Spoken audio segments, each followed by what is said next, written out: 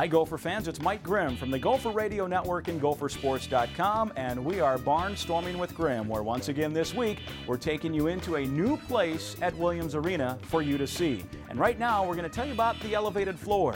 The visiting team is interesting here because they're not used to it. They come out of the locker room right here to my left, and then they will come up the steps onto the arena floor, and what's the first thing they see? Caution, elevated surface, and this little beauty there, someone falling off of the elevated floor. Then they'll walk up the steps toward their team bench, and there you see, there's that elevated floor, which is about 24 to 28 inches up.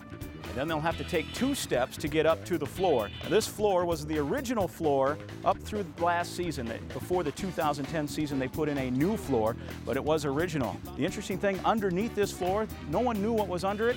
It was dirt. For all those years from 1928 to 2009, it was dirt underneath this floor. That is Barnstorming with Grimm, and now here's what's happening with the Golden Gophers this week.